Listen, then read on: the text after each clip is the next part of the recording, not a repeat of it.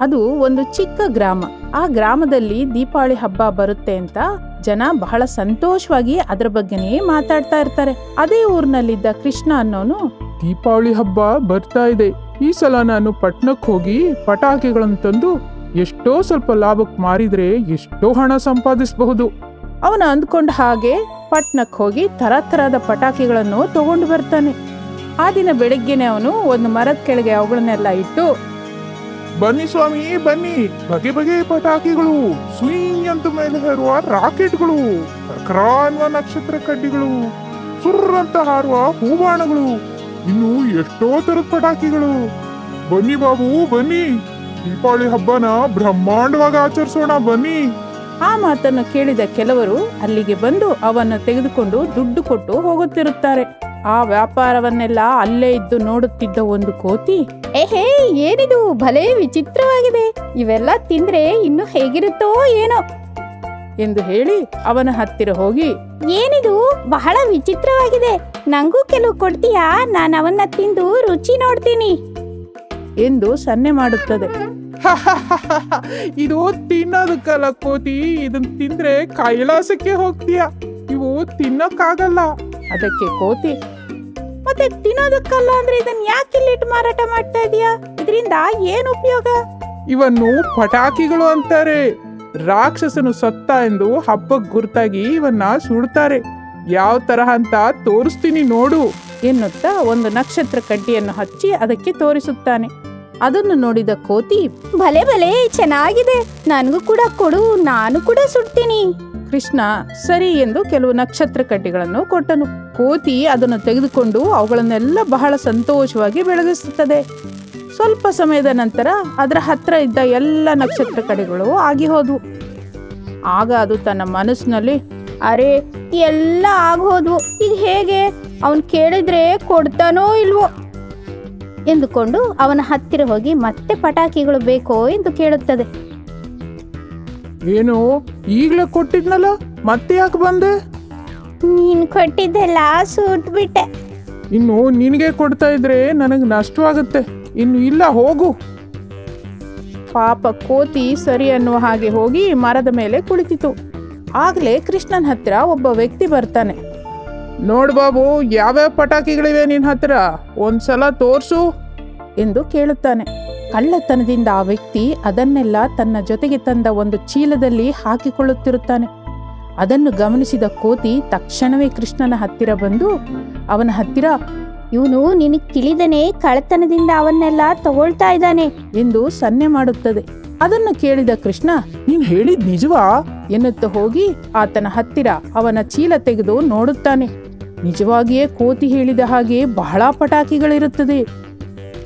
ಏನು ಕಳ್ತನ ಮಾಡ್ಲಿಕ್ಕೆ ಬಂದ್ಯಾ? ಇವತ್ತು ನನ್ನ ಕೈನಲ್ಲಿ ಸಿಕ್ಕೋದೆ ನೀನು.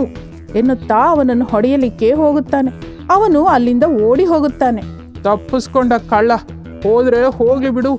ವಸ್ತುಗಳೆಲ್ಲ ನನ್ನ ಹತ್ರನೇ ಇದೆ ಅಲ್ವಾ? ಅಂದುಕೊಂಡು ಕೋತಿಯ ಹತ್ತಿರ ನಿನಗೆ ಬಹಳ ಕೃತಜ್ಞತೆಗಳು. ಒಳ್ಳೆ ಸಮಯಕ್ಕೆ ಬಂದೆ. ಇಲ್ದಿದ್ರೆ ಇದರಿಂದ ನಾನು ಎಷ್ಟು ನಷ್ಟ ಹೋಗ್ತಿದ್ನೋ ಏನೋ. ಆಗ ಕೋತಿ ಸರಿ ಎಂದು ಅಲ್ಲಿಂದ ಹೊರಟು ಹೋಗುವಾಗ ನೋಡ್ ಕೋತಿ ನೀನು ನನ್ನ ಹತ್ರನೇ ಇದ್ದು ನನ್ನ ಪಟಾಕಿಗಳನ್ನು ಮಾರಲು ಸಹಾಯ ಮಾಡಿದ್ರೆ ನನ್ನ ಹತ್ರ ಮಿಕ್ಕಿದ ಪಟಾಕಿಗಳನ್ನ ನಿನಗೆ ಕೊಡ್ತೀನಿ. ಏನಂತೀಯಾ? ಸರಿ ಹಾಗೆ ಆಗ್ಲಿ. ಎನ್ನುತ್ತದೆ. ಆ ದಿನ ಕೋತಿ ಕೃಷ್ಣ ಇಬ್ಬರು ಸೇರಿ ಪಟಾಕಿಗಳ ವ್ಯಾಪಾರ ಮಾಡುತ್ತಾರೆ. ಕೋತಿ ಪಟಾಕಿ ಮಾರುವುದನ್ನು ಕಂಡ ಜನ ಬಹಳ ಆಶ್ಚರ್ಯದಿಂದ ಅದನ್ನು ನೋಡಲಿಕ್ಕೋಸ್ಕರವೇ ಬಹಳ ಪ್ರತ್ಯೇಕವಾಗಿ ಬಂದು ಅದರ ಕೈಯಲ್ಲಿ ಪಟಾಕಿಗಳನ್ನು ತೆಗೆದುಕೊಳ್ಳುತ್ತಾರೆ. ಮರುದಿನವೇ ದೀಪಾವಳಿ. ಕೃಷ್ಣ ಪಟಾಕಿಗಳನ್ನು ಮಾರಾಟಕ್ಕೆ ಇಡುತ್ತಾನೆ. ಅಷ್ಟರಲ್ಲಿ ಆ ಕೋತಿ ಅಲ್ಲಿಗೆ ಬಂದು ಮಿತ್ರನೇ ಈ ದಿನವೇ ದೀಪಾವಳಿ ಹಬ್ಬ ಅಲ್ಲವಾ ಮತ್ತೆ ನನ್ನ ಪಟಾಕಿಗಳಲ್ಲಿ? ನೋಡು ಕೋತಿ ಈ ದಿನ ಪಟಾಕಿಗಳನ್ನ ಮಾರಾಟ ಮಾಡೋಣ. ಮಿಕ್ಕಿದ್ದೆಲ್ಲ ಮನೆಗೆ ತಗೊಂಡು ಹೋಗ್ತೀನಿ. ನೀನು ಕೂಡ ನನ್ನ ಮನೆಗೆ ಬಂದ್ರೆ ಇಬ್ರು ಸೇರಿ ಹಬ್ಬ ಮಾಡೋಣ ಏನಂತೀಯಾ? ಆ ದಿನ ಬೆಳಗ್ಗೆ ಇಬ್ಬರು ಸೇರಿ ಪಟಾಕಿ ಮಾರುತ್ತಾರೆ. ಇನ್ನು ಸಾಯಂಕಾಲ ಆಗುತ್ತೆ. ಮಿಕ್ಕಿದ ಪಟಾಕಿಗಳನ್ನೆಲ್ಲ ಕೃಷ್ಣ ಕೋತಿ ಸೇರಿ ಮನೆಗೆ ತೆಗೆದುಕೊಂಡು ಹೋಗ್ತಾರೆ. ಅಲ್ಲಿ ಕೋತಿ, ಕೃಷ್ಣ ಇಬ್ಬರು ಪಟಾಕಿಗಳನ್ನು ಸುಡುತ್ತಾ ಸಂತೋಷವಾಗಿ ದೀಪಾವಳಿ ಹಬ್ಬವನ್ನು ಮಾಡುತ್ತಾರೆ. ಕೋಟಿಶಾಲಾ ಅನ್ನುವ ಊರಿನಲ್ಲಿ ಶಂಕರ್ ಎನ್ನುವ ಒಬ್ಬ ವ್ಯಕ್ತಿ ಇದ್ದನು. ಅವನಿಗೆ ಪಕ್ಷಿಗಳೆಂದರೆ ಪ್ರಾಣಿಗಳೆಂದರೆ ಬಹಳ ಇಷ್ಟ. ಅವನು ಅವುಗಳಿಗೆ ಪ್ರತ್ಯೇಕವಾಗಿ ಆಹಾರ ಕೊಡುತ್ತಿರುತ್ತಾನೆ. ಅದೇ ಊರಿನಲ್ಲಿ ಒಂದು ಚಿಕ್ಕ ನದಿ ಕೂಡ ಇರುತ್ತದೆ. ಅಲ್ಲಿಗೆ ದಿನವೂ ಶಂಕರ್ ಹೋಗಿ ಅಲ್ಲಿ ನೀರಿನಲ್ಲಿರುವ ಮೀನುಗಳಿಗೆ ಆಹಾರ ಹಾಕುತ್ತಿರುತ್ತಿದ್ದನು. ಅಲ್ಲಿಯ ಮೀನುಗಳೆಲ್ಲವೂ ಅವನ್ನು ತಿಂದು ಅಲ್ಲಿಂದ ಹೊರಟು ಹೋಗುತ್ತಿದ್ದವು. ಶಂಕರ್ ಸ್ವಲ್ಪ ಸಮಯ ಅಲ್ಲೇ ಕಳೆದ ನಂತರ ತನ್ನ ಜೀವನಾಧಾರಕ್ಕಾಗಿ ಹೊಲದ ಕೆಲಸ ಮಾಡಿಕೊಳ್ಳುತ್ತಿದ್ದನು.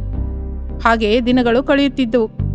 ಒಂದು ದಿನ ಶಂಕರ್ ಯಾವತ್ತಿನ ಹಾಗೆ ಆ ನದಿ ಹತ್ತಿರಕ್ಕೆ ಹೋಗಿ ಮೀನುಗಳಿಗೆ ಆಹಾರ ಹಾಕಿ ಕುಳಿತುಕೊಂಡು, ಅಬ್ಬಾ, ಈ ದಿನ ವಾತಾವರಣ ಎಷ್ಟು ಚೆನ್ನಾಗಿದೆ.